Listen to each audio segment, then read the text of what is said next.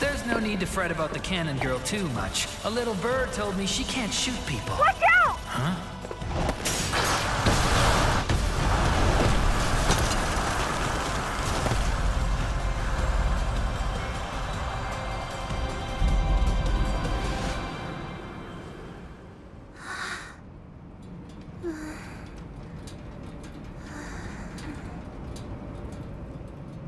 Agent Amatori! Was she aiming at all four of them?